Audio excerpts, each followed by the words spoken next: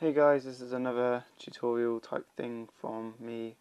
Um, basically, I've got this ESP01, which is the ESP8226 chip on it.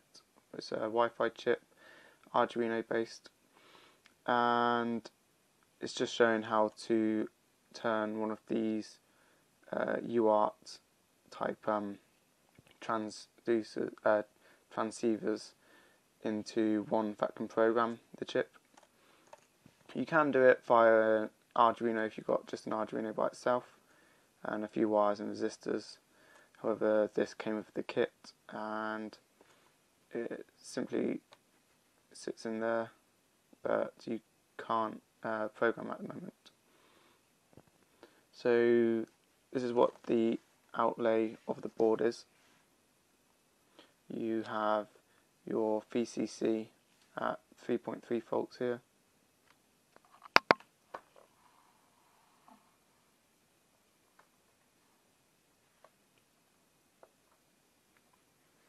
You have your reset, the CHEN, so enable pin, uh, TX, so that's the uh, transmitter, RX receiver, GPIO uh, 0 and GPI 2 to program or put this into programming mode, uh, EN needs to be linked to 3.3 volts, so high, and GPIO uh, 0 needs to be linked to ground on boot, and then it can be released.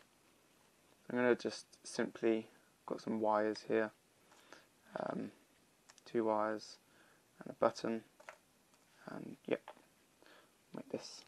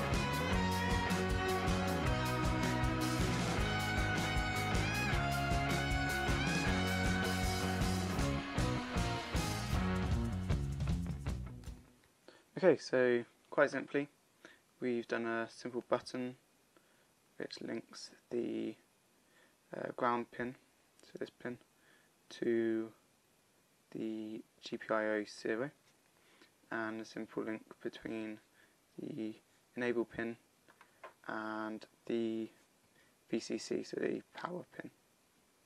Um, so all I've got to do is press that as I plug it in, uh, as I plug this in and it should just be and that's it. And then it's in programming mode. Um, if you don't want it in programming mode just don't press the button as you plug it in. And that's it. Should work. Cool.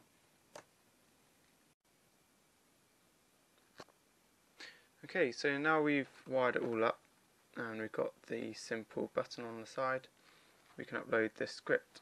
Uh, I'm doing a blink script which I've edited um, it's now just going to print uh, the line hello from ESP into the serial monitor.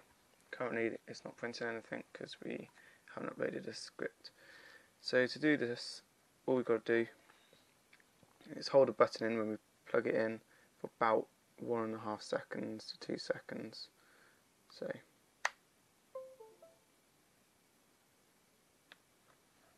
about there. Now when we click upload,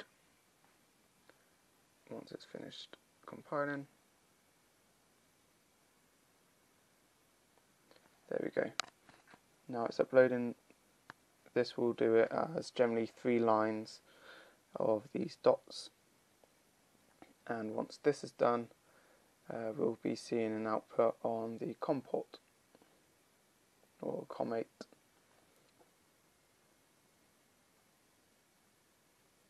So now go on here. We can see this is printing hello from ESP every couple of seconds, which is perfect. So we know it works. Um, I hope you enjoyed this simple tutorial and hopefully you guys can uh, make this quite cheaply with any leftover parts and yeah, have fun.